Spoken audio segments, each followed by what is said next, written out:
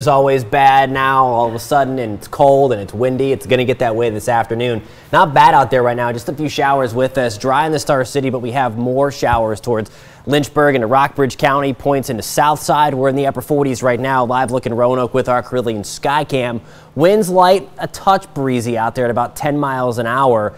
That's going to pick up in a big way later on this afternoon and especially evening. There are those few scattered showers out there, mainly on the lighter side. We have a couple of showers in Wythe and Bland counties right now.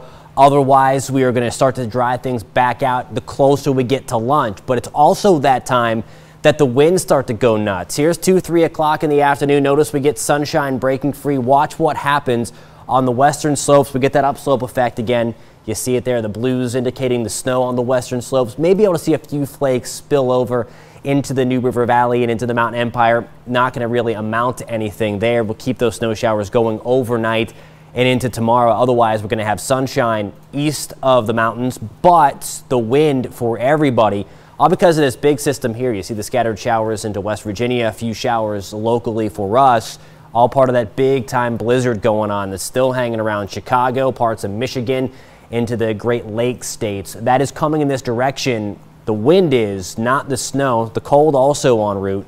There's 48 right now in Roanoke, 52 in Raleigh. You see where the cold is. Really, the other two thirds of the country already under the grip of this big time Arctic air mass. It's seven in International Falls, 13 in Bismarck. And again, that chill is going to settle in really as we get into tonight and by Wednesday morning.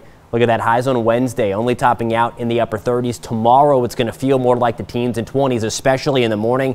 Look at this, though, all over the place. Mother Nature needs to make up her mind. We're going to push 70 degrees on Sunday after a few very, very chilly days coming our way. And that's, again, really starting tonight and over the next couple of days. So we are going to dry things out after a couple of showers in the morning. Then we're going to turn really windy. Temperatures back to the upper 40s. Tonight, we'll continue to clear things out. But we are going to turn much, much colder while still keeping that breeze. Tomorrow morning, getting the kids on the school bus, it's going to feel more like the teens and 20s with the wind in play. Highs on Wednesday, struggling to climb out of the 30s. We're back in the mid 40s on Thursday, and then all of a sudden we just jumped to around 70. Another system to our west going to pull in a ton of warm air. so we are all over the place as we get ready to start December. Oh, goodness. What's the saying? Just wait a day if you don't like the that's weather right. here in Virginia. And that's pretty much been the theme of this month so far. We've been cold, then kind of warm, then really cold again. It's okay. It makes the cold a little bit more bearable. I guess so. It also it gets everybody sick. So wait for that to happen this that's week. That's a myth. we'll see. We'll see.